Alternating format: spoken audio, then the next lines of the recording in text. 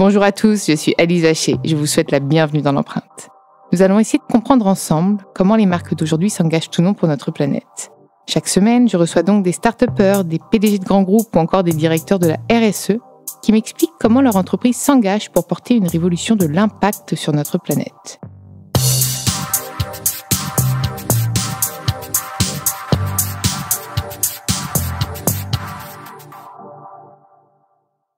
Dans ce nouvel épisode de l'empreinte, j'ai le plaisir de recevoir Éric Ducourneau, le directeur général des laboratoires Pierre Fabre, le célèbre groupe pharmaceutique et dermocosmétique créé en 1962 et un groupe français surtout, ça c'est important de se le redire.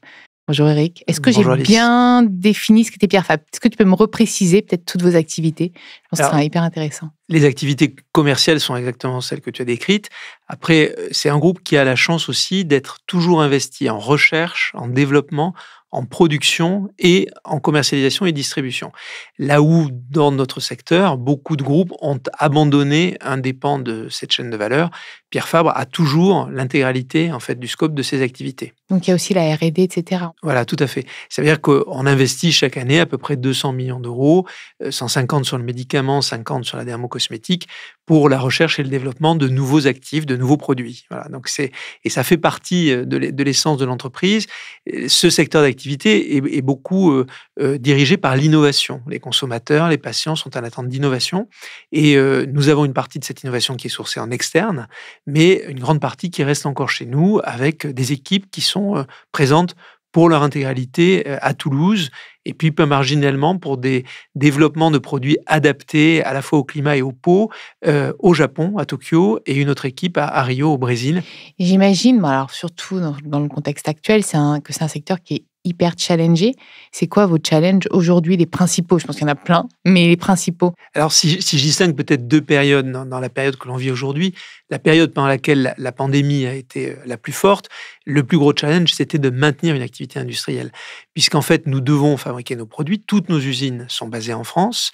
Euh, à partir de ce moment-là, le défi, c'était de rester, même dans les périodes de, confinement, euh, agile, de façon à pouvoir fournir nos produits. C'est-à-dire quand on a derrière des patients qui attendent leur traitement anticancéreux, on est obligé de fournir ces, traitements anticancéreux. Donc ça, ça a été le premier défi. Je dirais que le, nouveau défi qui, s'ouvre à nous maintenant, c'est un défi qui est lié aux pénuries euh, d'ingrédients, euh, aux pénuries de principes actifs, puisque le Qui sont liés à quoi ces pénuries? Alors qui sont liés pour l'essentiel en fait à une interruption momentanée, euh, récurrente et, presque, je veux dire comme des synapses, hein, d'un certain nombre de chaînes d'approvisionnement depuis début 2020. Puisque si on se replonge début 2020, au début de la pandémie, il y a une interruption totale des échanges avec l'Asie. Euh, cette interruption, après, quand elle va cesser, il va y avoir un problème, c'est le volume des bateaux, mais aussi, euh, je crois que tout le monde a entendu parler des palettes, par exemple, qui permettent de transporter les produits les ingrédients, etc. Et, de ceux qui repartent vers l'Asie quand ça a été fabriqué en Europe. Et quand ça se remet en fonctionnement, et en fait, il y a un autre phénomène qui joue, c'est que on privilégie les acteurs économiques, les, grands acteurs, par exemple, de la navigation, du transport, privilégient forcément les zones dans lesquelles la croissance redémarre le plus vite, ce qui est logique. Et donc, il y a eu une espèce de focalisation qui s'est cristallisée entre l'Asie et les États-Unis et qui a un peu laissé de côté l'Europe, en fait, pendant cette période. Donc, en fait, tout ça, c'est ce que l'on vit aujourd'hui une interruption d'échange, même si Pierre Fabre source 95% de mmh, ses ingrédients, principes actifs, etc. en Europe. Donc bon, ça c'est logiquement, ouais. c'est une chance. Et il y a la tension qui s'est créée sur les matières premières, puisque dans beaucoup de secteurs d'activité, dont la cosmétique, eh bien, il y a eu le maquillage. Par exemple, nous, on n'y est pas, mais certains ingrédients sont communs entre la cosmétique et le maquillage. Ben, il y a eu pratiquement pas de commerce qui a été fait euh, pendant une longue période, on va dire en gros de début 2020 jusqu'à euh, le début 2021, quasiment 12 mois. Et, maintenant que ça redémarre, ça redémarre fort. Et forcément, ben, il y a des tensions. Donc quand on est un acteur, certes important, Pierre Fabre, c'est le deuxième acteur dermocosmétique mondial, mais, mais ce n'est pas le premier. Et, il est assez petit aussi, hein, 2 milliards et demi de chiffre d'affaires. Et eh bien au final... C'est déjà pas mal. C'est pas mal, mais il y en a qui font beaucoup plus. Donc en fait, en fait on est... Ben, oui, forcément, bien sûr. Voilà, le, le producteur va privilégier ceux qui font les plus grosses commandes. Et ces 5%, pourquoi est-ce qu'on ne peut pas les relocaliser complètement? Alors, souvent, on ne peut pas les relocaliser complètement parce qu'il n'y a plus en Europe, le, savoir-faire, c'est une très bonne question que tu poses, il n'y a plus le savoir-faire en Europe pour le faire. Et si on forme les gens? Alors, il faut former les gens et il faut aussi accepter un certain nombre de choses. Le, un certain nombre d'activités de, ont disparu d'Europe et en particulier de France parce qu'on s'est mis des mauvaises idées en tête. Par exemple, que la chimie, c'est dangereux. Aujourd'hui, on est passé à la chimie qui a énormément euh, évolué. Par exemple, euh, dans une entreprise comme Pierre Fabre, qui fait beaucoup d'extraits végétaux, Hier, on faisait des extraits végétaux qui étaient tous basés sur de l'extraction chimique. Aujourd'hui, on fait de plus en plus d'extraits végétaux qui sont des extraits végétaux verts. C'est-à-dire, euh, par exemple, Pierre Fabre a des brevets dans un, euh, procédé hein, qui s'appelle l'extrusion. On utilise l'eau de la plante, en fait, pour euh, sortir de la plante les principes actifs de la plante, pour extraire les principes actifs de la plante. On n'utilise plus du tout de solvant, par exemple, plus de produits chimiques. Depuis quand ça, ça a été arrêté d'ailleurs? Alors, pour nous, ça a été arrêté il y a trois ans. Euh, donc, au moment où nous avons mis ces, brevets au point, et, c'est une technologie propriétaire, comme on dit, Pierre Femme elle seule a utilisé ce type de procédé. Donc, quand on, voit ça, euh, on se dit que euh, les mauvaises idées qu'on peut avoir parfois vis-à-vis de certains secteurs industriels, dont la chimie, il faut les abandonner parce que si on veut être capable de sourcer et d'être autonome dans une période où les, les échanges internationaux s'interrompent, eh bien oui, il faut que nous ayons de la chimie en Europe. Oui, et puis en plus de relocaliser pour l'environnement d'une aussi, pour euh, bah, l'impact social, de former des, jeunes talents. Enfin, je, pense que c'est tout bénéf. Hein. Tout à fait. Et c'est développer une nouvelle compétence qui pourra même être compétitive. Et développer des nouvelles technologies. Exactement. en fait, naturel. voilà, naturel, ce qu'on appelle la chimie verte. Ça a aujourd'hui une réelle existence. Et donc, comme les biocarburants. Ce brevet de chimie verte, c'est vous qui l'avez lancé avec de la R&D. Tout à fait. Nous l'avons développé avec une start-up. Nous l'avons pas développé seul. Nous l'avons développé avec une start-up, mais effectivement, euh, nous l'avons développé sur un plan industriel. Donc là, j'imagine quand même qu'il y a vous avez une part un peu de, produits non naturels dans, vos formulations? Bien sûr, parce qu'il peut y avoir certains ingrédients qui sont difficiles à remplacer sur un plan naturel. Mais ce qu'il faut voir, c'est qu'on est sur une courbe de progrès. Donc, euh, euh, moi, je crois qu'il faut. Et puis, il y a peut-être des choses qu'on ne peut pas remplacer, surtout, non? Alors, il y a des choses qu'on peut ne pas pouvoir remplacer, mais euh, il y a quand même beaucoup d'espoir dans la nature. Je, vais... Moi aussi, j'ai foi en la nature. je, vais donner peut-être deux exemples par rapport à ça. Donc, quand, quand je disais, par exemple, la glycérine, qui est un composant très connu, la glycérine était à l'origine un ingrédient chimique. Aujourd'hui, on utilise la glycérine végétale. Donc ça, c'est un vrai progrès dont bénéficie l'ensemble du secteur cosmétique. Mais je vais, je vais donner un autre exemple sur euh, l'utilisation de principes actifs euh, dans des pathologies. Par exemple, aujourd'hui, dans une de nos marques qui s'appelle Ducré, on lance un produit qui contient un ingrédient qui s'appelle le célastrol. Le célastrol est un ingrédient complètement naturel. Et le célastrol, en fait, a une efficacité très importante sur les crises de psoriasis. Hier, on soignait les crises de psoriasis avec des médicaments et avec euh, des produits chimiques.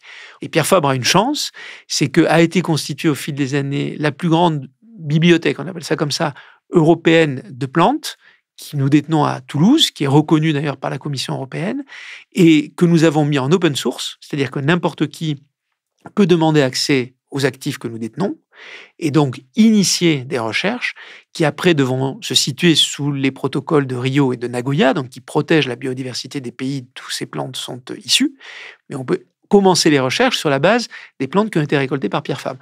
Et je cite ça parce qu'en fait, ne pas abandonner ces recherches, c'est extrêmement important. Parce que même si aujourd'hui il y a des conventions internationales qui en fait nous oblige, au bon sens du terme, vis-à-vis des États dont sont originaires les plantes, ça n'empêche pas de faire de la recherche et de faire progresser la science, et donc de voir, comme tu le disais tout à l'heure, comment la nature peut de plus en plus euh, nous aider euh, dans cette recherche thérapeutique. J'imagine que votre corps de métier se situe quand même en France. C'est quand même là que vous allez euh, cultiver des plantes. Après, il n'y a peut-être pas toutes les espèces en France. Il n'y a pas toutes les espèces. Et donc, j'imagine aussi qu'il y a du transport dans l'histoire. Alors, il y a du transport. Et tu m'avais parlé euh, de cargo, enfin de, de bateau. Euh, je ne sais pas si c'est bon, quand même un peu mieux que, l'avion, mais est-ce que vous faites des choix aussi éclairés là-dessus sur ces moyens de transport? Parce que j'imagine qu'il y a quand même beaucoup de flux hein, de votre côté. Pour votre empreinte carbone, ça pèse tout de suite énormément. Alors, on a beaucoup de flux, mais euh, notre chance, c'est que l'essentiel de nos flux sont des flux maritimes. Je parle des flux export. Hein, donc euh, euh, les, la partie du chiffre d'affaires, les 72% du chiffre d'affaires qu'on fait hors de France, en fait, nous les faisons essentiellement par du transport maritime ou euh, du transport par train quand on se situe en Europe. C'est bien, c'est encore mieux parce que les cargos, parfois. E, exactement, mais c'est une technologie là aussi qui progresse quand même, le, transport maritime. Tout. Et le transport maritime est, moins impactant que le transport aérien. Toujours. Dans nos métiers, on, on pratique très peu le transport aérien. Ça peut arriver de façon exceptionnelle, notamment pour des médicaments Plus pour de l'urgence, peut-être. Voilà, pour de l'urgence ou parce qu'il va y avoir une, une, pénurie quelque part, etc. Il y a une demande d'un État, etc. Et justement, on en parlait un peu en off tous les deux avant. Euh, est-ce que vous avez un objectif de neutralité Tout le monde parle de neutralité carbone et je pense que c'est des engagements que tout le monde prend aussi pour se fixer les objectifs. Est-ce que vous vous êtes fixé un objectif de, tenter une neutralité carbone avec Scope 1, Scope 2, Scope 3 pour, euh, je sais pas, 2030, 2050, quand on voit que l'urgence climatique est là, il faut quand même émettre le moins de carbone possible. Est-ce que c'est un de vos engagements? Alors nous, nous, considérons que dans, dans, cette matière, donc il y a ce que l'entreprise peut faire et il y a euh, un certain nombre de, groupes de travail au niveau mondial, je pense au GIEC, mais pas qu'au GIEC, euh, je pense aussi à la, trajectoire des accords de Paris, et, ces accords internationaux ont défini des trajectoires qui doivent être des guides également pour les entreprises. Donc euh, nous avons décidé, il y a maintenant trois ans, à l'occasion d'un plan de transformation de l'entreprise, de nous fixer sur la trajectoire des accords de Paris, de façon, donc on a traduit en fait Qu'est-ce que veut dire un impact carbone, un impact d'élévation de température de moins de 2 degrés mmh. à l'échelle d'une entreprise qui emploie un peu moins de 10 000 personnes Et même pour vous, parce que votre, votre ressource, c'est quand même la nature. Donc, Tout à fait. donc forcément, vous êtes complètement aussi codépendant. Euh... Exactement. Donc en fait, quand on a regardé ça, et s'est ajouté derrière la question de la neutralité carbone à 2030, nous avons décliné tout ça en un certain nombre de programmes. Donc il y a des programmes qui sont des programmes qui sont liés aux produits, donc, euh, l'ensemble s'appelle Green Mission chez nous. Donc, il y a des programmes qui sont liés à des, à des, questions de produits. Par exemple, sourcer chaque année quatre nouveaux actifs bio par an. Pourquoi? Alors, 4, c'est pas, ça aurait pu 4 comme 5, comme 3.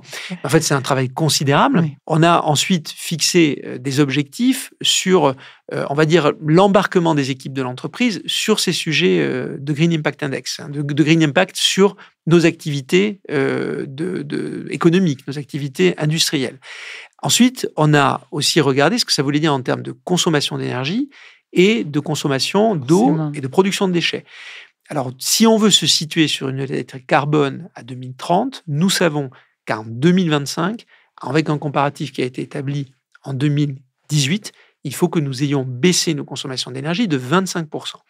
Et ça, nous le monitorons chaque année et nous le rendons public à la fois dans ce qu'on appelle la déclaration de performance extra-financière des entreprises, qui est légale, que nous devons produire, et puis dans un rapport intégré que nous euh, produisons et que nous soumettons à nos parties prenantes, dans lesquelles il y a des associations environnementales. Donc on travaille avec des parties prenantes qui en fait regardent ce que nous faisons et approuvent ou désapprouvent. Vous conseillent aussi et puis vous conseillent. Ils peuvent nous conseiller. Alors on travaille pour le conseil, on travaille avec beaucoup d'entreprises qui, je pense, sont maintenant assez connus. Je pense, par exemple, à Carbone 4, hein, mais on travaille avec beaucoup d'entreprises parce que c'est quand même tout ça extrêmement technique. Il faut mettre en place à l'intérieur de l'entreprise beaucoup de capteurs. Alors, les capteurs de mmh. consommation d'eau, les capteurs de consommation d'énergie. Exactement. Ça peut paraître assez simple, l'eau et l'énergie. Mais si je me situe sur la consommation des véhicules des délégués commerciaux, ça commence à être déjà un peu plus compliqué. Donc, en fait, on se fait accompagner par euh, beaucoup de, de startups françaises pour nous aider à faire ça. Donc, on a des objectifs sur la réduction de notre production de CO2. C'est euh, moins 25% à l'horizon 2025 pour être, ah oui, bientôt, là. pour être sur la trajectoire de 2030, en fait. Oui, c'est bientôt. Mais on a le résultat chaque année. Donc, bien. Euh, je, je, sais. Et vous le publiez d'ailleurs tous? Et nous le publions dans la déclaration euh, de performance extra-financière et dans le, le, rapport intégré, tout à fait. Donc, on a un objectif en ce qui concerne la consommation d'énergie, un objectif en ce qui concerne la consommation d'eau, réduction de 30%, et un objectif en ce qui concerne la part des énergies renouvelables dans nos énergies qui doit être au minimum de 25% à l'horizon 2025. Et comme ça, nous nous situons sur la trajectoire. Nous savons aussi que très probablement vont se rajouter d'autres objectifs, puisque les événements climatiques que l'on connaît vont certainement pousser les États, ou je ne sais pas, l'ONU, ou des organisations internationales, à nous challenger à nouveau sur d'autres aspects. Est-ce que vous anticipez un peu du coup les valeurs de Pierre Fabre, quand vous parlez de, bio, de naturel, etc., c'est quand même dans votre ADN de préserver l'environnement et la nature. Donc, euh, je pense que c'est un peu, un peu même du bon sens de, votre entreprise d'aller vers euh, du plus vertueux. C'est-à-dire que je, crois que c'est une, euh, une des vertus, une des valeurs que cette entreprise euh, a hérité de, de, de M. Pierre Fabre, c'est le respect. Et en fait, je pense que Pierre Fabre cherchait à respecter son environnement. quand je parle de l'environnement, c'est les, les, femmes et les hommes qui, qui, vivaient autour de ces usines ou de ces implantations, quelles qu'elles soient, et à respecter la nature, parce qu'il avait une forte conscience de la force de la nature en fait en termes thérapeutiques. Et que comme tu le disais tout à l'heure, dans ce cas-là, c'est votre matière première. Exactement. Donc il faut la préserver. On a aujourd'hui, en fait, quand on regarde l'intégralité du portefeuille du groupe, dans lequel il y a à la fois des médicaments et des produits dermocosmétiques, si je regarde l'intégralité des références, qui sont aux alentours de 3200, il y en a 65% qui sont issus euh, de produits d'origine naturelle. De, donc, c'est extrêmement important. Nous avons des médicaments, un anticancéreux, un médicament qui est utilisé dans l'hypertrophie bénigne de la prostate, qui sont des médicaments qui sont issus de plantes. Et j'imagine que dans ce produit, il y a aussi tout ce qui est packaging. Est-ce que vous essayez de réduire aussi le plastique, euh, avoir des packaging les plus éco-conçus, même virer des packaging indispensables Alors, c'est un, un boulevard. Oui, c'est un boulevard pour la, pour la, packaging, pour la cosmétique. Euh, alors, justement, c'est 40% de la note est due au packaging. Ça m'étonne. Euh, parce que la recyclabilité du packaging est, importante. Aujourd'hui, par exemple, euh, on ne le sait pas forcément, mais en France, du fait de la pandémie, il est très difficile de trouver à nouveau du papier et du, carton recyclé. Parce qu'en fait, pendant la pandémie, où beaucoup d'échanges se sont interrompus, eh bien, nous avons consommé moins de carton et moins de papier. Et donc, nous en avons aujourd'hui moins à recycler. C'est un sujet voilà, qui, est, pas, qui a bas bruit, hein, si j'ose dire, mais qui est un, des sujets de pandémie, tu vois, de, la suite de la pandémie. Évidemment, déjà, tous nos packaging sont recyclés, euh, recyclables, mais il y a encore un gros effort à faire sur un certain nombre de notices. Par exemple, dans la marque Chlorane, aujourd'hui, il n'y a plus de notices papier, elles sont embarquées dans le packaging euh, lui-même. L'avenir, ce sera probablement d'avoir un contenant qu'on gardera, une crème en vrac qu'on achètera dans une espèce de, bague, hein, Exactement. comme euh, comme en fait, un peu plus cher avec le contenant euh, inclus. Voilà. Et puis après qu'on recharge. Exactement. Comme les parfumeurs depuis très longtemps ont créé les recharges euh, que, nous pouvons utiliser. Mmh. Et, et, dans la cosmétique, probablement, on pourra aussi passer donc à ces emballages carton pour, euh, pour, pour, le vrac. Voilà. Donc euh, ça, c'est une, c'est une, une des solutions euh, sur lesquelles aujourd'hui on arrive à trouver notamment des solutions pour la conservation du produit, puisqu'en fait le, le, principal enjeu c'est la conservation du produit. Et je voudrais citer une dernière, un dernier exemple côté Pierre Fabre, c'est aussi de travailler sur le cycle de ce qu'on appelle le cycle de vie du produit. Hein, donc la, base du Green Impact Index, c'est le cycle de vie du produit. C'est-à-dire comment je prends de la fabrication de mon produit jusqu'à sa, sa fin de vie, j'allais dire, chez le consommateur, et qu'est-ce que devient l'intégralité du produit, la formule, l'actif, le packaging, etc. Et je travaille là-dessus pour essayer en fait de le rendre plus vertueux, ce cycle de vie du produit.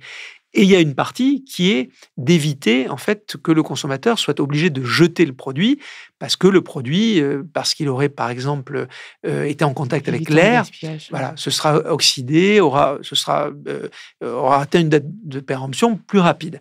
Et là, Pierre Fabre a, inventé, il y a maintenant une vingtaine d'années, la cosmétique stérile. Donc, la cosmétique stérile, ce sont des packagings qui ne laissent rentrer ni l'air ni la lumière, dans lequel le produit a une conservation beaucoup plus longue. Et en plus d'avoir une conservation beaucoup plus longue, il a moins d'ingrédients parce que notamment on invite, on a, enfin, on, a, plus besoin de, besoin d'aucun conservateur. Est-ce que tu aurais envie de rajouter quelque chose? Bah, Moi, j'aurais envie de, rajouter un, espoir, parce qu'en fait... Euh, ah, J'aime bien l'espoir c'est bien. Oui, c'est bon, voilà, c'est, il, faut, il faut en avoir en permanence. Et ce que je trouve assez magique sur ces sujets, évidemment, on peut toujours se battre à coulpe en disant qu'on n'y est pas, on n'y est pas, on n'y est pas, il y a tout ça qu'on fait pas bien. Mais il y a des solutions qui sont trouvées tous les jours, euh, et je, trouve que c'est ça qui est source d'espoir, et qu'elles permettent d'être, d'être dupliquées, d'être partagées. Et euh, on parle souvent aujourd'hui d'économie solidaire, etc. Et je pense qu'une des premières solidarités de l'économie, c'est de partager un certain nombre d'innovations et euh, comme tu le fais à travers ton podcast, en fait, d'être capable de, partager des innovations et des initiatives qui font boule de neige. Et, c'est cet espoir que je veux donner parce que je crois qu'aujourd'hui, il y a une vraie énergie sur ces sujets dans la société française qui est notamment générée euh, par les jeunes, mais que pas que par les jeunes, parce qu'il y a aussi tous ceux qui font les lois, qui sont quelquefois moins jeunes, mais qui contribuent, je vais dire, à cette énergie positive. Et, je trouve que c'est un gros signe d'espoir, parce que même les sujets que nous avons encore devant nous aujourd'hui, comme la recyclabilité du plastique à l'infini, trouveront une solution demain.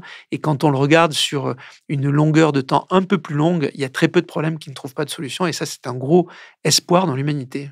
Mmh, c'est très joli, puis c'est très vrai, puisque tu m'as illustré ça avec euh, ton exemple de collaboration avec avec la start-up. Donc, si demain, il y a une start-up qui a trouvé la solution pour le plastique, on, vous êtes preneur. Je pense que tout le monde est, est preneur et c'est en effet un travail d'équipe, en fait. Aujourd'hui, le climat, bah, c'est pour tout le monde. L'environnement, c'est pour tout le monde. Et on n'a pas parlé beaucoup de, de social, mais, mais, mais on, tu, tu, me, tu, me, parlais de relocaliser du travail, etc. Donc, je pense que. Tiens, j'ai peut-être une toute petite dernière question parce que ça me, ça me brûle les lèvres. Dans ce secteur-là, il manque encore pas mal de femmes, non? Euh, Il manque. Euh, Mais c'est un sujet d'attractivité? Tu penses Alors, je, pense qu'il faut distinguer la cosmétique et le hmm. médicament. Dans la cosmétique, il y a globalement 70% de femmes. Oui, oui, Donc, il y a pas plus, de... plus, j'ai plus en tête le médicament de mon côté. Alors, côté du médicament, euh, il manquait des femmes. Je crois qu'on peut, on peut dire ça. Euh, aujourd'hui, il y a de plus en plus, oui, il y a de plus en plus de femmes qui sont euh, investies. Et, et, le, j'ai en tête énormément de chercheuses françaises ou étrangères, notamment dans le domaine de la dermatologie ou de la cancérologie, qui font un travail absolument formidable. Et, et donc, je, je, pense qu'aujourd'hui, il, il y a, une, il y a toute une génération, effectivement, de, de femmes chercheuses, notamment, et, et de grands médecins qui, qui, qui, émergent.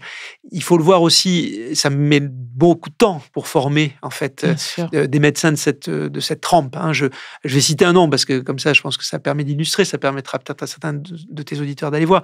Une dame qui s'appelle Caroline Robert, le professeur Caroline Robert de Gustave Roussy, qui est la spécialiste du mélanome en Europe. Euh, eh bien, pour, former quelqu'un de cette valeur-là, il faut 20-25 ans de pratique médicale. Euh, et c'est ça qui donne aussi beaucoup d'espoir. Il n'y a en tout cas aucun obstacle, hein, c'est ce qu'il faut retenir.